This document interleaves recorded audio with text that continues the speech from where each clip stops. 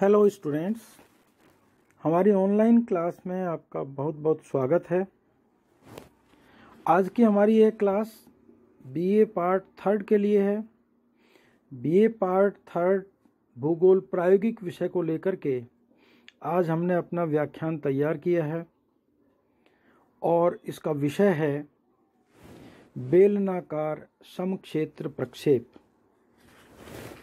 Cylindrical equal area projection इससे पहले हम प्रक्षेपों के प्रकारों के बारे में चर्चा कर चुके हैं। अब हम प्रक्षेप एक एक करके उनकी रचना कैसे होती है, रचना के लिए कैसे उसकी गणना की जाती है, यह हमें देखना है।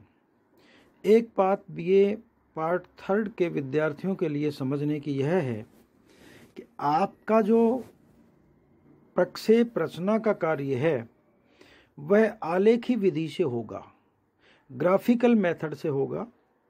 यही प्रक्षेप एम ए प्रीवियस के सिलेबस में भी हैं, लेकिन वहाँ पर इनकी रचना विधि बदल जाती है। इनकी रचना हम वहाँ एम ए प्रीवियस में गणितीय विधि से करते हैं, क्योंकि विश्वविद्यालय ने बीए पार्ट थर्ड के लिए आलेखी विधि और एम ए प्रीवियस के लिए गणती विधि को रिकमेंड किया है। तो आइए हम देखते हैं कैसे बेलनाकार समक्षेत्र प्रक्षेप की रचना हम करते हैं। सबसे पहले हम इसकी रचना करने से पूर्व हम इसकी प्रक्षेप की पहचान और उसके गुणधर्म के ऊपर चर्चा करेंगे। अगर पहचान की बात करते हैं तो अक्षांश वृत्त जो होते हैं इस प्रक्षेप में वो सरल और समांतर रेखाओं के रूप में होते हैं और प्रत्येक अक्षांश वृत्त की लंबाई भूमध्य रेखा की लंबाई के बराबर ही होती है। अक्षांश वृत्तों के बीच की दूरी भूमध्य रेखा से ध्रुवों की ओर कम होती जाती है, निरंतर कम होती जाती है। देशांतर रेखाएँ भी सरल और परस्पर समानांतर होती हैं, किंतु इनके बीच की दूरी एक समान होती है। अक्षांश वृत्त और देशांतर रेखाएँ एक दूसरे को समकोण पर काटते हैं। ध्रुव जो ग्लोब पर एक बिंदु मात्र होता है, इस प्रक्षेप में वह एक रेखा के रूप में, सरल रेखा के रूप में दिखाया जाता है और उस सरल रेखा की लंबाई भूमध्य रेखा की लंबाई के बराबर ही होती है। अर्थात सभी अक्षांश रेखाओं की लंबाई इसमें समान होती है। अगर इस प्रक्षेप की विशेषताओं की बात करें तो भूमध्य रेखा अपनी वास्तविक लंबाई के बराबर होती है और भूमध्य रेखा के ऊपर अन्य अक्षांश वृत्त अपनी वास्तविक लंबाई से बड़े होते हैं, इसलिए उनके ऊपर मापनी शुद्ध नहीं होती, क्योंकि उनकी लंबाई बढ़ जाती है, इसलिए मापनी में अशुद्धता आना स्वाभाविक है। चूँकि प्रक्षेप में देशांतर रेखाएँ पृथ्वी के लघुकृत गोले के ध्रुवीय व्यास के बराबर बनाई जाती हैं। अतः वे अपनी वास्तविक लंबाई से छोटी होती हैं। और इसका परिणाम यह होता है कि देशांतर रेखाओं पर मापनी अशुद्ध हो जाती है। चूँकि यह एक समक्षेत्र प्रक्षेप है लेकिन भूमध्य रेखा से दूर जाने पर क्षेत्रों की जो आकृति है, वो इसमें विकृत हो जाती है। समक्षेत्रफल का गुण तो पाया जाता है, लेकिन आकृति इसमें विकृत होती है। जैसे जैसे हम भूमध्य रेखा से दूर जाते हैं, ध्रुवों की ओर जाते हैं तो आकृति विकृत हो जाती है और ध्रुवीय क्षेत्रों में तो आकृति बहुत ही विकृत हो जाती है। अब बात करते हैं हम कि बेलनाकार समक्षेत्र प्रक्षेप की उपयोगिता क्या है। इसकी उपयोगिता की यदि हम बात करें तो इस प्रक्षेप का ए, पर हम कभी कभी संसार के वितरण मानचित्र बनाते हैं किंतु भूमध्य रेखा के निकटवर्ती क्षेत्रों के वितरण मानचित्रों के लिए यह प्रक्षेप विशेष उपयोगी है। संसार के मानचित्रों के लिए विशेष उपयोगी इस कारण से नहीं है क्योंकि भूमध्य रेखा से ध्रुवों की तरफ़ जाते जाते निरंतर मापने की अशुद्धता और आकृति में विकृति बढ़ती जाती है, जिस कारण से इस प्रक्षेप पर विश्व के मानचित्र बनाया जाना ज़्यादा उचित नहीं होता। किंतु भूमध्य रेखा के निकटवर्ती क्षेत्रों का मानचित्र इस प्रक्षेप पर बनाया जाना अच्छा है। विशेष रूप से इसका उपयोग भूमध्य रेखीय क्षेत्रों के मानचित्र बनाने के लिए ही किया जाता है। तो यह थी इस प्रक्षेप की पहचान और इसके विशेषताओं के बारे में। और अब हम बात करते हैं कि प्रक्षेप की रचना कैसे की जाती है।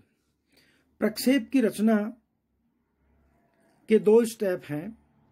पहला स्टेप है इसका गणना कार्य है और दूसरा स्टेप है रचना कार्य।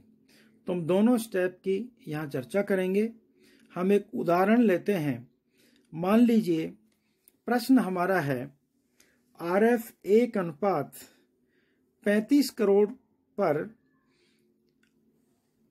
विश्व मानचित्र बनाने के लिए एक बेलनाकार सम क्षेत्र प्रक्षेप की रचना कीजिए, जिसमें अक्षांश देशांतर रेखाओं का अंतराल 30 डिग्री हो।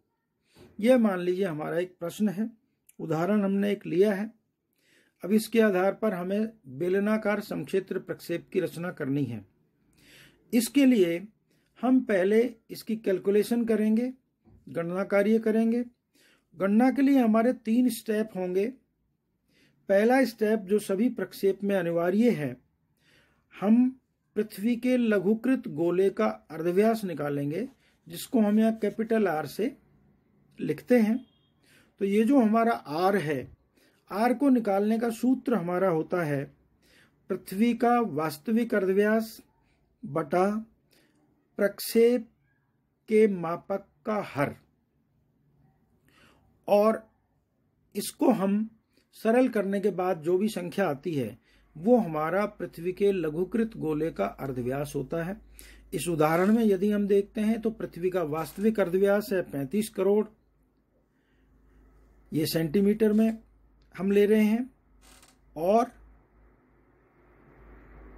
सॉरी पृथ्वी का जो वास्तविक अर्धव्यास है, वह है तिरसठ करोड़ पचास लाख सेंटीमीटर और जो हमारा मापक का हर है, वह है पैंतीस करोड़ सेंटीमीटर। तो हमने ऊपर लिखा, तिरसठ करोड़ पचास लाख सेंटीमीटर, भाग दिया उसमें पैंतीस करोड़ का और हमारा हल निकल करके आया एक दशमलव आठ सेंटीमीटर। तो हमारा लघुकृत गोले का अर्धव्यास हुआ एक दशमलव आठ सेंटीमीटर। अब हम भूमध्य रेखा की लंबाई निकालते हैं और भूमध्य रेखा की लंबाई निकालने का सूत्र है टू पाई आर। दो गुणा बाईस बटा सात और गुणा जो हमारी आर है, इस प्रश्न के अनुसार एक दशमलव आठ सेंटीमीटर है। तो गुणा एक दशमलव आठ सेंटीमीटर कर दिया। दो गुणा बाईस बटा सात गुणा एक पॉइंट आठ सेंटीमीटर यदि करते हैं तो उसका हल निकल के आया ग्यारह दशमलव तीन सेंटीमीटर तो भूमध्य रेखा की लंबाई होगी ग्यारह दशमलव तीन सेंटीमीटर। और अब तीसरा स्टेप है गणना का, दो संलग्न देशांतर रेखाओं के बीच की दूरी। तो इसको हम निकालते हैं two pi r into interval upon three sixty two pi r की वैल्यू हमने पहले से निकाल रखी है, ग्यारह दशमलव तीन सेंटीमीटर है तो हम सीधा भी इस वैल्यू को यहाँ रख सकते हैं। और उसको गुणा कर देते हैं तीस इंटरवल हमारा तीस है, और बटा तीन सौ साठ से, और इसका जब हमने हल निकाला तो यह आ गया दशमलव नौ चार सेंटीमीटर। तो जो दो संलग्न देशांतर रेखाएँ होंगी, उनके बीच की दूरी इस प्रश्न के अनुसार हमें नौ दशमलव चार सेंटीमीटर लेनी है। यह हमारा गणना कार्य पूर्ण होता है। अब हम बात करते हैं कि हम प्रक्षेप की रचना कैसे करें। प्रक्षेप की रचना करने के लिए सर्वप्रथम हम कोई एक बिंदु ओ लेते हैं और उस ओ को केंद्र मानकर हमारे प्रश्न की त्रिज्या अनुसार, प्रक्षेप की त्रिज्या अनुसार एक अर्धवृत्त घुमाते हैं। अर्धव्यास के आधार पर एक अर्धवृत्त बनाया हमने। इस प्रश्न में जैसे हमने एक ओ बिंदु ले लिया, उसको केंद्र माना और उसको केंद्र मान करके एक दशमलव आठ सेंटीमीटर अर्धव्यास से एक वृत्त का आधा भाग अर्धवृत्त हमने बनाया, जिसको मान लीजिए हमने ए बी सी नाम दिया। और जिसमें ए सी जो रेखा होगी, वो वृत्त का ध्रुवीय व्यास होगा।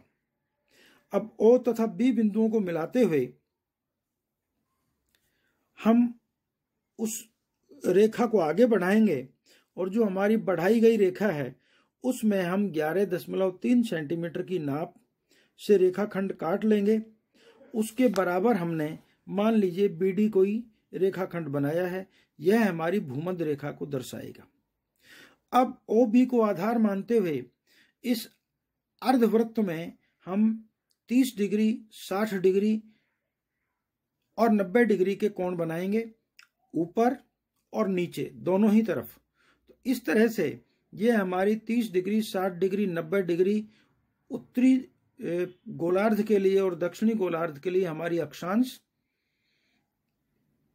हो जाएँगे और इन अक्षांशों के जो बिंदु हमारे प्राप्त हुए, इनको क्रमशः हम बी के ऊपर, मान लीजिए आई जे ए और नीचे के एल सी के नाम से हम इनको लिखेंगे और यहाँ से भूमध्य रेखा के समानांतर ए बिंदु से भूमध्य रेखा के समानांतर जे से आई से के से एल से और सी से हम भूमध्य रेखा के समानांतर रेखाएँ अर्थात बीडी के समानांतर रेखाएँ खींचेंगे और ये रेखाखंड हम बीडी की लंबाई के बराबर ही खींचेंगे।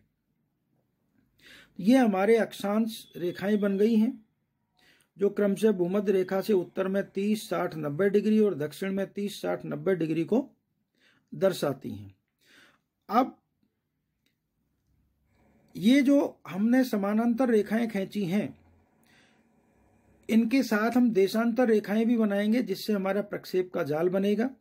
तो बी बिंदु पर हम एक लंबवत रेखा खींचेंगे, ऊपर और नीचे, जो क्रमशः ऊपर ई बिंदु पर और नीचे एफ़ बिंदु पर, जो हमारी 90 डिग्री की अक्षांश रेखाएँ हैं, उनको काटेंगी। और वहाँ से फिर हम आगे बढ़ते हुए दशमलव नौ चार सेंटीमीटर, जो कि दो संलग्न देशांतर रेखाओं के बीच की दूरी थी, उसको डिवाइडर में भरेंगे और हम क्रमशः बी बिंदु से आगे दशमलव नौ चार, दशमलव नौ चार सेंटीमीटर की नाप लेकर के भूमध्य रेखा की लंबाई के आखिरी छोर तक जाएँगे। और ये इस प्रकार से जो बिंदु हमारे कायम होते हैं, ये बिंदु हमारे देशांतर रेखाओं को दर्शाएँगे। इन देशांतर रेखाओं के लिए ये चिन्ह अभी अंकित हुए हैं। देशांतर रेखाएँ हमारी बनी नहीं है। हमने जो ई एफ़ देशांतर रेखा एक बनाई है, जो कि 180 डिग्री पश्चिमी देशांतर रेखा होगी, उसके समानांतर इस बिंदु को मिलाते हुए, इस बिंदु पर लंब डालते हुए उसके समानांतर रेखाखंड खींचेंगे और उन रेखाखंडों को मिलाने से उन उन रेखाखंडों के अक्षांश देशांतरों पर समकोण पर काटने से जो एक रेखा जाल बनेगा वह हमारा होगा बेलनाकार समक्षेत्र प्रक्षेप। और अब हम अंत में इन सभी अक्षांश और देशांतर रेखाओं का नामकरण करेंगे, अर्थात इनकी जो वैल्यू है, अक्षांशीय और देशांतरीय, उसको हम लिखेंगे। जैसे भूमध्य रेखा से ऊपर 30 डिग्री 60 डिग्री और 90 डिग्री, और उसके साथ ऊपर लिखेंगे नॉर्थ एन और नीचे लिखेंगे 30 degree 60 degree 90 degree south S लिख देंगे साउथ का शॉर्ट फॉर्म। और इसी प्रकार से हमने जो देशांतर रेखाओं का जाल बनाया है मध्यवर्ती देशांतर रेखा है वो ज़ीरो डिग्री होगी। उसके पूर्व में 30, 60, 90, 120, 150 और 180 डिग्री की देशांतर रेखाएँ होंगी। इसके साथ 180 के साथ हम ईस्ट लिख देंगे और ठीक पश्चिम में 30, 60, 90, 120, 150 और 180 की देशांतर रेखाएँ जो हमने बनाई हैं। वहाँ हम 180 डिग्री के साथ वेस्ट लिख देंगे। तो ये हमारा बेलनाकार समक्षेत्र प्रक्षेप तैयार होता है। ऊपर हम इसका हेडिंग लिख देंगे मोटे अक्षरों में या तो हिंदी में, बेलनाकार समक्षेत्र प्रक्षेप, और या फिर इंग्लिश में सिलिंड्रिकल इक्वल एरिया प्रोजेक्शन। और नीचे हम उसका स्केल लिख देंगे one is to thirty five crore या एक अनुपात पैंतीस करोड़। तो यह हमारा बेलनाकार समक्षेत्र प्रक्षेप तैयार हो जाता है, महत्वपूर्ण है परीक्षा के लिए, और इसके ऊपर हम विश्व का मानचित्र आसानी से बना लेंगे। लेकिन फिर भी हमने जैसे आपको बताया कि ये प्रक्षेप भूमध्य रेखीय क्षेत्रों के मानचित्र, मानचित्रों की रचना करने के लिए ही